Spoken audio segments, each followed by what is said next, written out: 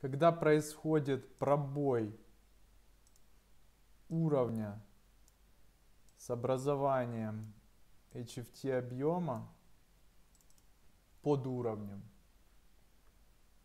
это означает, что за этим уровнем стояли стопы свинг трейдеров. Но среднесрочники ставят свои защитные ордера дальше, на расстояние более одного АТР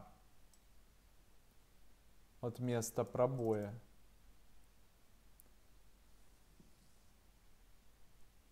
Один семнадцать. Кроме того, здесь могут быть вовлечены шартисты, которые работают по тренду и хотят зайти на продолжение тенденции. Соответственно, эта ликвидность, она принимается лимитными покупателями, маркетмейкером. И цена останавливается, она больше не продвигается в нисходящем направлении.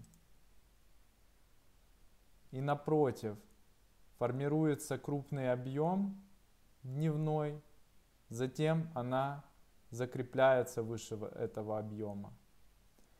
Здесь в этой ситуации также приняли участие маркет-покупатели. Это видно по кумулятивной дельте. Кроме того, были существенные предварительные покупки в этой области.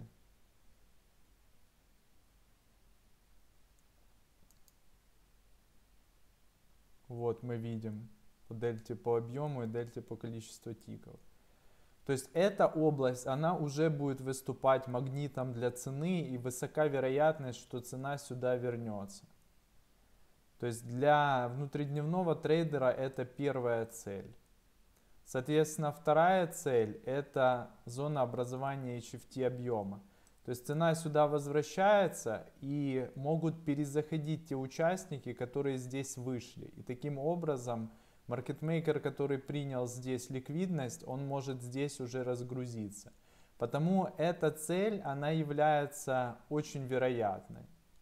То есть э, цена, конечно же, может обратно вернуться в этот диапазон, но это уже вероятность там идет 50 э, на 50. Потому что вполне может э, случиться здесь э, уже разгрузка вот этой позиции, и цена дальше пойдет себе спокойно вниз. То есть нужно добавлять э, к точке входа оценку преимуществ, которые могут поспособствовать продвижению цены, то есть коррекции. Здесь мы видим сильный и мощный коммерческий уровень, то есть борьба между коммерческими и некоммерческими трейдерами. Было очень крупное изменение позиций, фонды зашли в шорт, коммерсанты зашли в лонг. Соответственно, вот эта зона борьбы, она выступает магнитом для цены. То есть мы поторговались выше, притянулись сюда, поотбивались. Сейчас, э, получается, инициативу перехватывают э, фонды, которые шортят. Вот. Их позицию принимает маркетмейкер, выводит опять в зону баланса. И будет, соответственно, разгружаться уже об хеджеров. То есть маркетмейкер, в принципе, он э, удовлетворяет ликвидность э, обеих сторон. То есть э, эти участники, они рассчитывают на более среднесрочные, долгосрочные движения.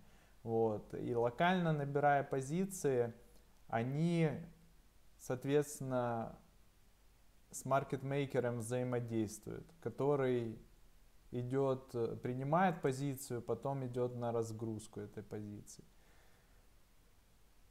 Всем хорошего дня. Пока.